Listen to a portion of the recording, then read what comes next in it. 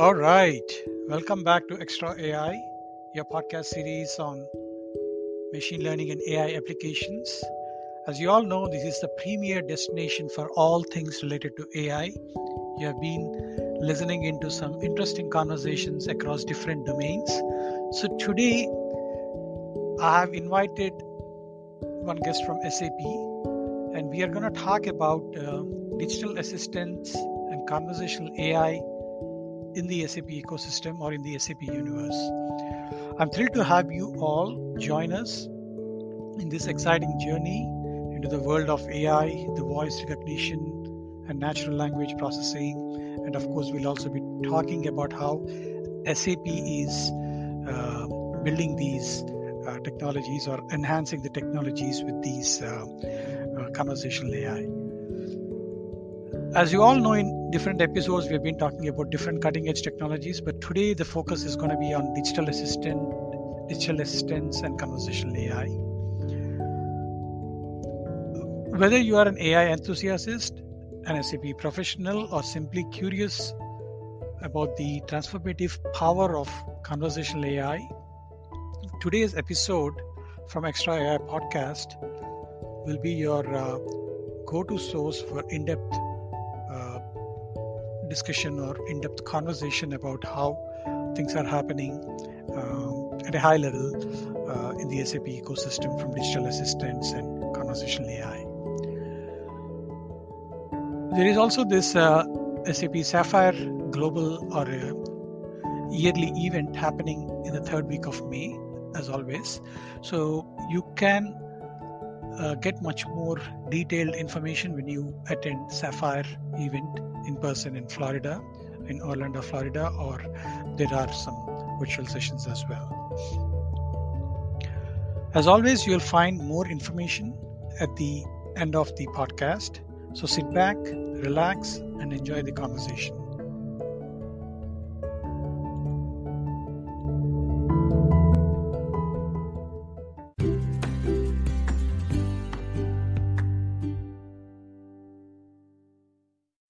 Welcome back to our podcast series, Extra AI, uh, on machine learning and AI applications. Uh, this is your host, Raghu Banda.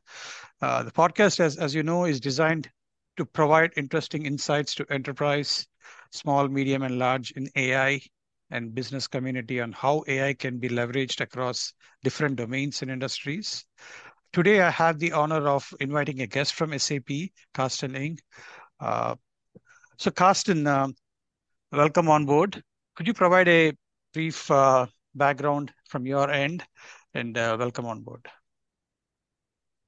Thank you, Raghu. A little bit background from my history. I've been long years a software developer and um, started developing web applications, then joined SAP, worked as a solution architect, and in parallel um, get a product which was built on um, already on AI, on conversational AI, and then changed my role into the product management of the AI unit, and now I'm heading currently the product management for the digital assistant and um, the stuff all around here. And you can say it's more or less um, the successor of conversational AI and Copilot.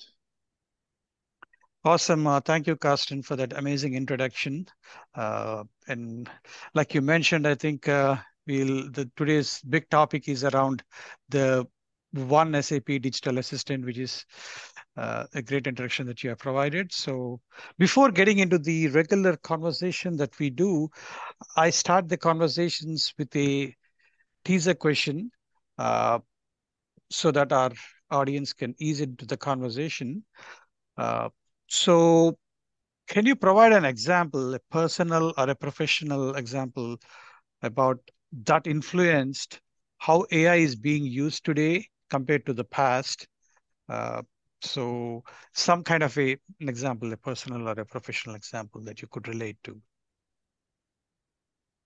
I think I can pick up here a little bit, um, or my my uh, famous example is something um, you, you're driving in the car and your infotainment system is already, or it's already some years ago where it can uh, started um, having the control of your infotainment system over voice. And it's like when you were talking to a chatbot, you could talk to your infotainment system. And this was the first experience here and um, also the impression that everything what we should do should at least fall under to this benchmark. But if we now look outside and it's somehow uh, this famous GPT mm-hmm. um, stuff which you cannot get around, or I, I would say it sometimes, unfortunately, I come to this point later. But at the end, um, this experience changed a little bit um, our view on the, onto AI. On the other hand, um, people are thinking everything can be solved by um, the open AI stuff, and you don't need anything else from AI any longer but that's not true. But this will be uh, discussed a little bit later. But the experience is now when I started software development, then Google was coming up somehow mm-hmm. at the horizon. And you implemented the search engine, and everybody said, Yes, the search engine has to have the Google like search experience. You were measured against this user experience of Google. Mm-hmm. And nowadays, I think everybody is telling you um, this experience. It's you're measured against ChatGPT. The experience I want to have with your system and the interaction with your assistant and all the stuff with AI has to follow this user experience of ChatGPT. It's completely coming out of the box, giving you a fluent way into. You don't have to know anything about AI, but it's working. And that's what people are expecting today. And I think this also influences a lot of our work today. Yes, I agree to you, uh, Carsten. I think in the past, like we were compared more when we talk about search experiences around Google, and now uh, obviously this uh, kind of a influence around ChatGPT about uh, these language models will uh, will happen eventually. I think, and we will be uh, compared against or uh, will happen eventually, and we will see how things will evolve. Uh, but like you mentioned, I think we are just about getting there. Any any um, before we get into our real thought, our real discussion today's uh, uh, podcast. Any any additional thoughts about upcoming AI advancements in the current world that you want to briefly touch base on? I think not in, in detail um, now because um, yes, everybody is talking of um, OpenAI, ChatGPT, and everything else is uh, going to the background. I don't want to put anything in front be, before because we are going more into detail of the digital assistant later on, which is then coming also to the point that you need other stuff. Here, um, what I want to tell or um, highlight is that not always everything is directly at hand, that it can be taken out of the memory of some um, artificial intelligence because you have a lot of stuff which is rapidly changing. This is the data in your backend system. Mm-hmm. And this you have to be able to query online and really merge into um, your flows with um, AI. It, has to be designed together. This is something where we currently are not at a point that you can say, okay, I train it directly into um, any um, artificial intelligence model or something like this, because you don't have it as fast as you need it at the end. And you have to find smart ways how you can interact with this. Yeah, that's a great point that you have brought, uh, Carsten. Uh, let us, I think, uh, take a quick break and then come back, uh, get into our real uh, meetup for today's conversation. All right, uh, welcome back. So now let us get into the today's topic of the one SAP digital assistant. So before getting there, uh, Carsten, uh, I would like to first start with this, right? Like, uh, I have the question about how do you see AI transforming enterprises and consumer businesses? Maybe any big picture overview. I think um, we are, as usual and as always, we are starting from the consumer side because the consumer business is changing, and it's changing due to the availability of something. Um, enterprises are then following in as you had it in the past when when you um, had some or looking at also from my experiences, um, I implemented a lot of online shops in in my during my uh, professional work time, and when you had B two B shops, they were really not fancy, not really um, have had a good user experience, and the flow was not really continuously following some some paradigm.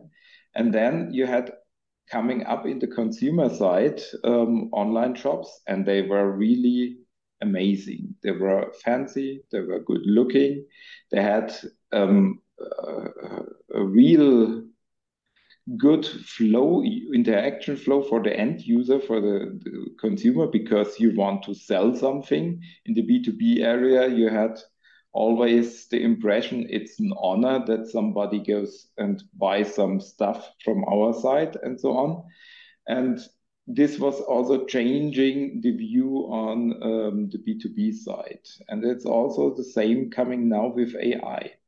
We have, as we had it um, before, we have this uh, GPT-3 model. And GPT-3 is always already outdated, I want to say. We have all, currently the number four, not the three any longer. And this uh, transforms into the end consumer space because people are let uh, GPT write them some speech they want to have on on a celebration party or um, yes, pupils at school um, take the opportunity not to do their homework. And um, I would say I'm from Germany and I would uh, always have liked it during my time at school if somebody writes my essays and um, the AI is the perfect companion here.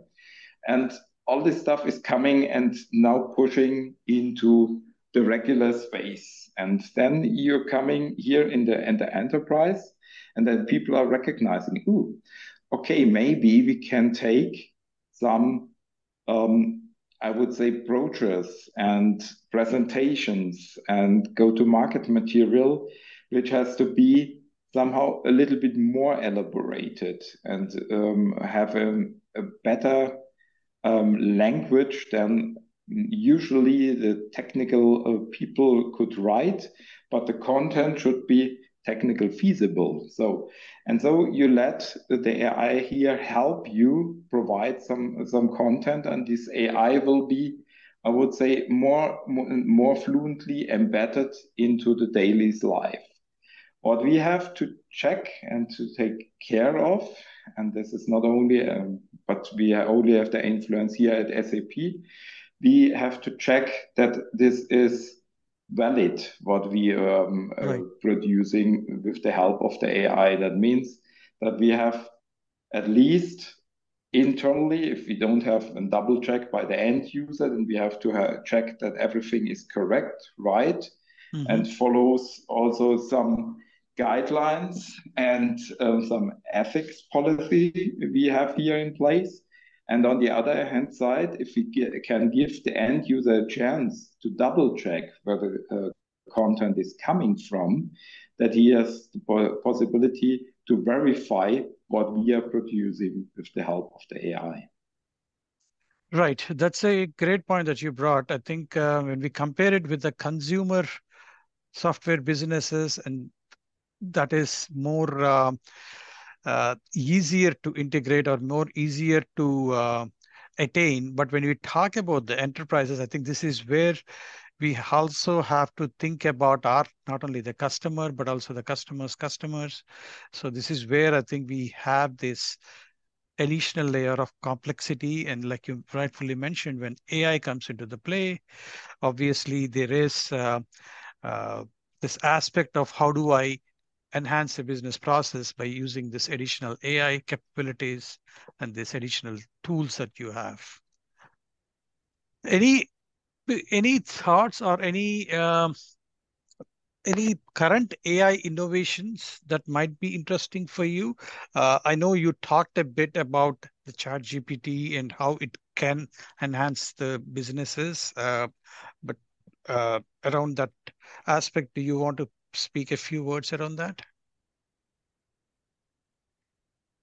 I think the, the innovation is here really um, done on uh, or what is the strength of this technology. The strength of this technology is the language understanding and the formulating, that means the language uh, pro processing and production. That means you get a good um, elaborate formulation out of um, the machine. Mm -hmm. um, and this is the strength here. And what you can also leverage, because if you look at software, um, it can give you a boost on productivity in software development. Because development, you usually take um, development languages, and they are really structured, more structured than um, our daily language. And this can be easily um, made up with such technologies that you can produce code snippets, longer code um, uh, um, procedures, and so on, which you can then uh, plug into your software. And the fanciness at this point is again that you um, can double check with testing and and so on, and with your functional um, book you have on the other side and the requirements then you can um, verify that the output is valid here. And I think this can really give you the production boost. Beautiful. Yes, I completely agree with that. I think uh, uh, providing the required or needed production boost will definitely help. I think, and this is one of those innovations which will take us a long way. I think whether it is the technology community or whether it is the enterprise community, yes, I think this will definitely improve the way we uh, work with technology. Let us, I want to, um, yeah, we've done some kind of, uh, we talked about some of the thoughts around AI innovations and how technology is helping us out.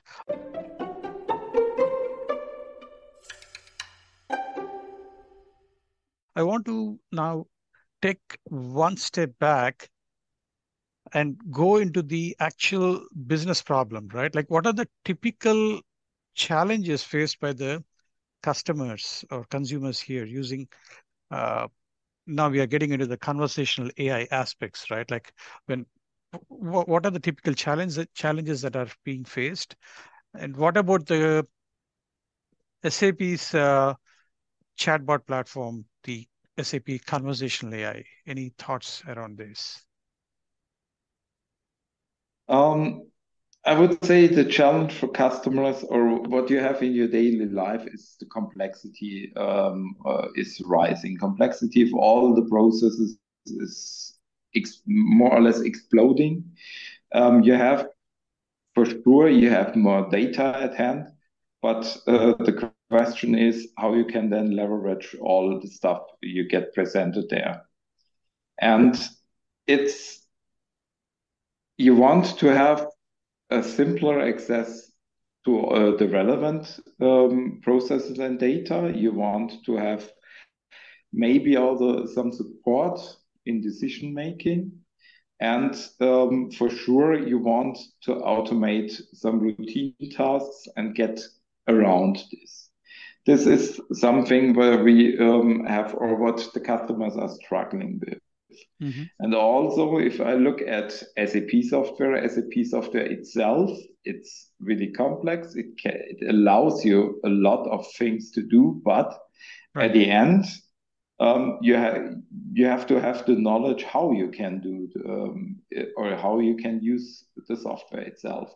That means the barrier is really high, and if you're only an occasional user, it's sometimes really difficult to get um, the way into. And if you don't remember um, how you used it last time, it's always difficult to find then the documentation and so on and so on. And also inside an SAP system, where do I find my um, uh, application where I, I can file in a certain request if it's a purchase order or something like this.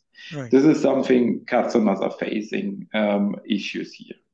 On our side, for, sure, SAP want to um, support the customers with these issues. That's one thing. And on the other side, if we manage to get this um, up and running, then we um, for sure increase our uh, the way we can or the perception of the SAP software against our competition because it's more easy to use mm-hmm. and it's um, slighter. Um, you can have also uh, only occasional users and you don't have only professionals and so on. And for sure, what we also have to take into account is at the end, it uh, really sounds good, but at the end, we have to um, come to a point where we don't have an individual software for each customer, which solves this issue because uh, right. we have to support with standard software the mm-hmm. customer mm-hmm. and have to make it as easy as possible that he gets into this standard software and not gets um, completely tailored software, which is then at the end from our side, from a maintenance point of view, ridiculous because it's too expensive. True. And um, with this, we have to support everything here around and make it much more easy that the customers can use our software. Beautiful. That's at the end the point what we have to reach here. And um, the idea I know exists since long time. SAP always did some steps into this direction, mm-hmm. but with um, I would say the real companion, it's easier. And that means if you have an assistant at your side which guides you to, through the system, this is much more easy to reach than we had in the past. Yes, okay, we have some more uh, uh, easier to use user interfaces. This was when we are breaking up from the um, regular SAP client to some Fiori applications and so on. This was uh, the first way forward. But um, if I look at the Fiori applications, they still require some knowledge um, how to use. Not everyone is really, really easy to take. True, true. Right. I think uh, agree uh, to that. Uh, what about the SAP's chatbot platform, right? Like the SAP conversational AI. Any words about that? What are your thoughts on that? Yes, this this are already a little bit started to bring in. We are in, in the at the point to have a break uh, into our software um, offering here. Conversational AI was a standalone chatbot platform. You could take it and do everything you liked, but you also had to do everything on your own as a customer. What we are, or we have somehow missed that there was um, a real tight integration with our business software. Mm-hmm. Um, so we were always in a competition with other um, chatbot vendors because it was really um, a similar offering. Um, but now we are changing the paradigm and this also changed a little bit slightly in technology. Um, our new offering, the digital assistant with the real SAP digital assistant, what we are building, is coming to the customer and feels like as pre-integrated and coming out of one um, software, even if it's not, from a technical point of view, it, it's still um, running side by side but it should feel for the customer, and this should give him the impression that it comes directly as one offering. Beautiful. Any additional thoughts? I know you briefly spoke about the capabilities, the integration capabilities into the uh, processes. Any additional thoughts you would like to share about the integration capabilities of these conversational AI apps with better UX? Yes, we, we have here. Yeah, yeah, we have here several um, dimensions for the integration, and um, just want to start. First of all, we uh, will deliver um, the digital assistant, which is coming from our AI unit as a platform, um, and we will ship it, or it will be shipped from the LOBs together with default interaction flows, the so-called um, business capabilities. This will be predefined, and so the customer has something he can start directly out of the box with. Um, he has not to build up every integration and every um, interaction on his own. He gets um, a predefined set he is already able to use. This is one thing.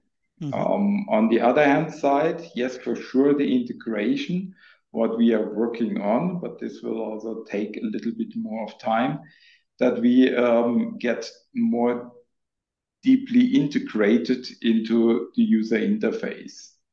That means what we had in the past, or we started with Copilot and Fiori, we want to get back again. Mm-hmm. That means that we know what um, inside our digital assistant which can be a chat window and on the side, and you can move it all around over the screen.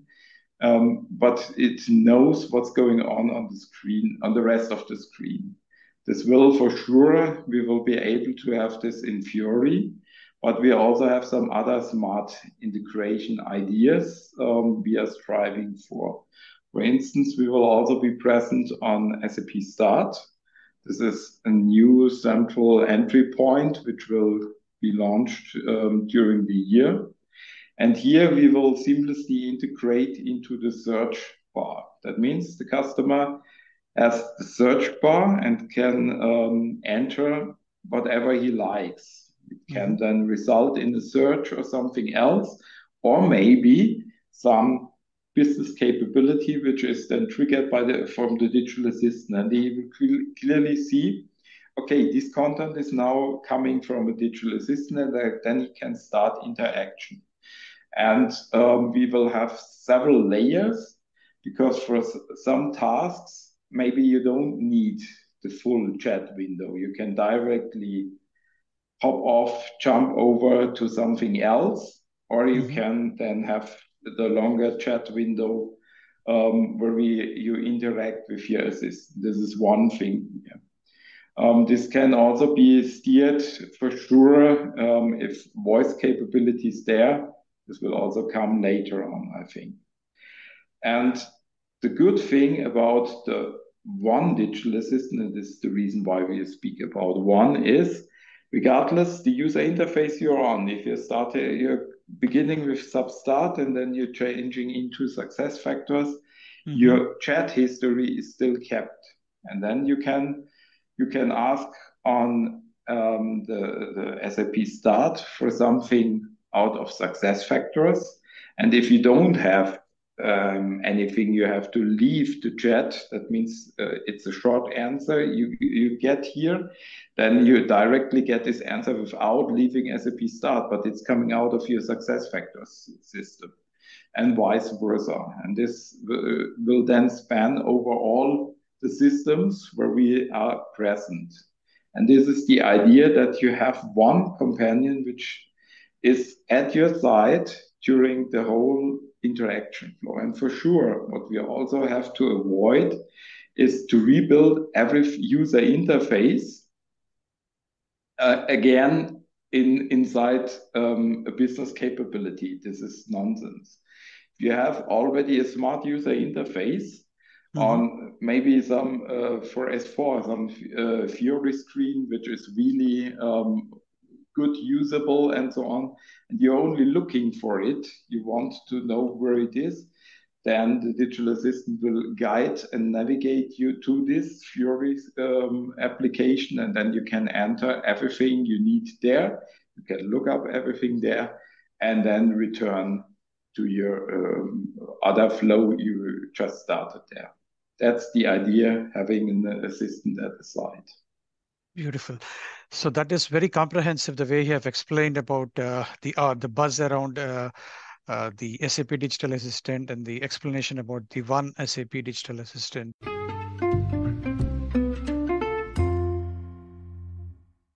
All right, uh, welcome back. So we've been having some amazing conversation with uh, Mr. Carsten.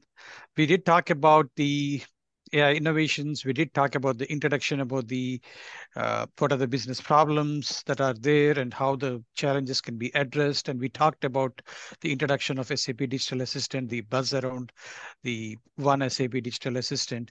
Now I want to uh, go into this question a bit more deeper, uh, Carsten.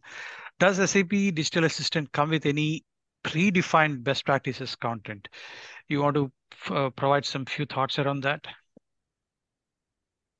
Yes, it it will come with predefined content. We have um, here uh, what we can predefine is for sure navigational, uh, so-called navigational content, which means um, I am looking for some application where I, I can enter or look up something um, which is not possible to bring it into the small chat window or does not make any sense here. And this should be solved by these navigational cases. Then we have the so-called transactional cases, which are more interesting because here you have the direct um, connectivity into the backend system. And here um, our LOBs will provide the content. And this is the reason why the digital assistant is coming with the LOB software and not is distributed as an individual product from our side. Um, we are only holding things together, explaining how this one digital assistant is working, but mm-hmm. the LOBs itself will provide content. This will come from also from SuccessFactors. They will provide during the year um, content and by the way, they already had started uh, building content on conversational AI, but this will be ported to the digital assistant. And they will bring additional stuff, which um, I cannot now disclose because it's coming um, on right. Sapphire, and they asked not to um, really let um, everything flow out before, um, but it's um, easing up uh, the interaction with the system and giving you, I would say, um, an, a short and a quicker access to um, a lot of screens inside SuccessFactors which are not necessarily needed in detail to start having this um, interaction and the, the, stuff created in SuccessFactors. What we also will have is um, navigational content from S4 and um, two example assistance or capabilities there, at, at least two, maybe three, if we can manage, which will be released in end of quarter three for um, the customers. It's the operational purchaser. This was already released in the past on conversational AI, which uh, allows you to have some interactions for the purchaser, which gives you some stuff in um, the assistant, and we will have the cost center um, assistant and maybe some logistics. Okay, beautiful. So uh, let us quickly get into any lighthouse use cases uh, around the SAP Digital Assistant. Any thoughts or any um, highlights that you could provide about the lighthouse use cases? The, the fun fact will be for our customers that they um, get, or the Sapphire showcase will also be available for SuccessFactors in the digital assistant and um, we will have this S4 content on SAP Start end of the quarter three with um, some customers already there. And then in um, November, we will have a full-fledged first version of, I would I tell it a first version because you can always enhance it and bring more capabilities of SuccessFactors in November, and this will also then be released to customers. Beautiful. So now comes to the most important question of the podcast, right? Like uh, we keep talking about what are the different business problems that we had and we talked about the different ai innovations and how conversational ai applications evolved and we also talked about how sap digital assistant the buzz around it and the lighthouse use cases now the million dollar question is that how is this different from the other conversational ai or other digital assistant out there in the market uh, i know this is coming from sap but any thoughts on how we can differentiate this is as um, I, I started to strive it a little bit, and this is the reason why we changed also strategy from conversational AI. Is we are changing here the focus and um, also the strategy towards something which is deeply integrated with our software. If I go out to the market and take an arbitrary chatbot framework, I have to do all, or I cannot directly start at the same point as we are starting here. We're giving things which are integrated on the data interaction basis with the SAP systems. We have something which is then already from a um, um, single sign-on uh, perspective integrated into our user interfaces. We deliver a client which is perfectly tailored to our user interfaces. This is something which coming or and on top, we already have predefined uh, capabilities to interact with our SAP systems. Mm-hmm. For sure, we have to focus on our SAP universe, but um, as you always also know, we have a lot of SAP business applications, and if we uh, if customers have more or already have one system and more of our systems, then it's a real perfect companion for you. If you want to rebuild this with some, I would say, standalone technology chatbot framework, you have projects which uh, are lasting for years. Mm-hmm. And you don't get it out of the box. You don't get it with maintenance and all this stuff. And um, it's not seamlessly integrated. And at the end, if SAP changes something, then um, you have also to uh, follow up with this as a customer on your own. From SAP, you get it out of the box, directly integrated with maintenance and all the stuff. And this is something where at the end, there is no competition on the market to this. Right. Beautiful. I think I like the aspect that you brought, the real one SAP digital assistant, which is really integrated into the products uh, and the business processes so that it helps the end users and the customers as a real uh, digital assistant in their regular uh, business processes. Beautiful. That was a great. Uh, um, that was that, that was a great way that you put, uh, Carsten. Um, so I know we have it's a very interesting topic. Uh, obviously, now with the uh, innovations around uh, the conversational AI applications or the conversational AI bots going on out there with ChatGPT, and maybe a few more things will come from. Uh, I think we we also see Bard AI coming in from Google, and few other uh, like Meta, and a few other things will come around. I think it's a very interesting field. I know it can take uh, but I try to put these podcast conversations within the one hour limit, uh, 35 to 45 minutes. Uh, so thanks for your um, time today, um, Carsten, in sharing your wisdom with us. Any key takeaways or closing remarks that you would like to provide or any references uh, so that the audience can go ahead and find some information or other things? First of all, thank you for giving me the opportunity to discuss on this topic. It's really interesting. And um, I have to confess, the topic was already um, highly interesting and innovative when we don't had uh, this um, ChatGPT hype before, but now um, it's got a, a, real high speed at the end, which is hopefully also driving us forward um, and giving us the perception inside the company that we can move uh, really quickly here.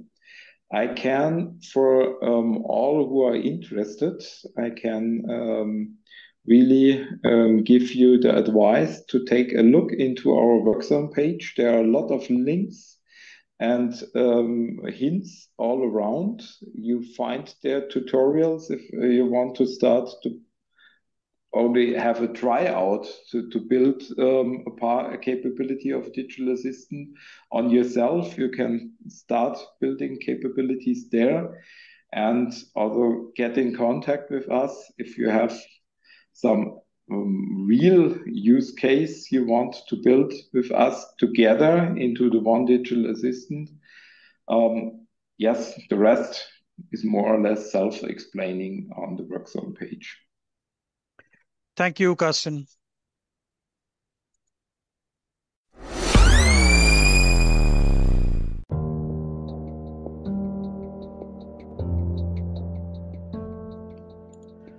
All right, let us now wrap up the podcast number 49, another insightful episode of the XtrawAI podcast. I first want to extend a heartfelt thank you to our special guest, Mr. Carsten Ng, for sharing his valuable insights, experiences, and expertise with us. It's been an absolute pleasure having Mr. Carsten on the show, and we truly appreciate the time and effort he has taken to enlighten our listeners on the fascinating world of digital assistants and conversational AI within the SAP ecosystem. We hope to have him back in the show sometime in future and we could continue exploring and discussing the advancements and trends in this ever evolving field of conversational AI. So before we say goodbye, don't forget to subscribe to our XtrawAI podcast on your favorite podcast platform so you never miss an episode. We also encourage you to follow us on social media and visit our website for the latest news, views, and articles. Uh, our social media platforms, you can reach out. Uh, myself, Raghu Banda, the host, on my LinkedIn handle, Raghubanda, or on my Twitter handle, Arkebanda. If you have any further questions, you can also directly reach out to my guest, Mr. Carsten Ng, since I'll be tagging him on the LinkedIn message, on the LinkedIn post. Alternatively, you could also reach out on our website, extraai.com, xtrawai.com, to find more information. And there is a wealth of uh, information out there. You have a lot of blogs and articles and uh, podcasts out there from different uh, seasons and different guests that we have.